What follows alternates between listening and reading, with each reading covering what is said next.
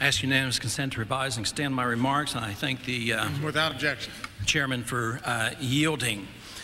I am an original co-sponsor of 1151, but the original bill never came to the committee. It was quickly substituted with another bill, which I think is uh, seriously weakened from the original uh, bill that we had. So I would like to let all those 207 members who are co-sponsors that you're not voting on the bill that you signed your name onto.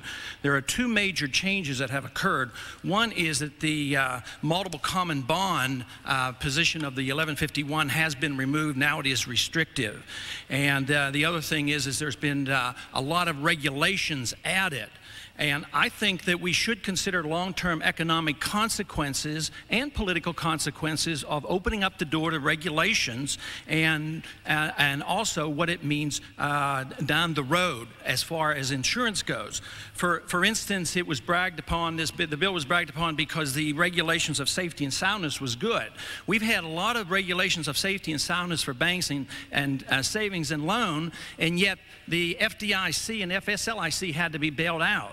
The insurance deposit for credit unions was started by private money, no government subsidies, and has never been bailed out. So now we're going to overlook the credit unions and make sure they're safe and sound. I think it's the wrong direction that we're going.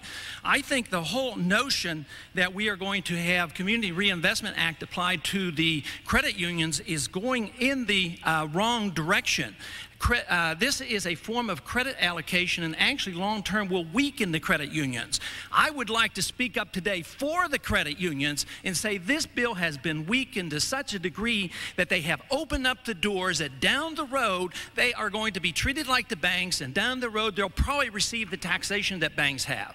I resent the idea that the, comp the competitors and the small banks who don't like the competition of the credit unions, they say, well, let's tax them and let's regulate them. So in a way, we have accommodated the banks by adding the regulations onto the credit unions. I do not think this is going in the right direction, and we should seriously consider a no vote on this legislation.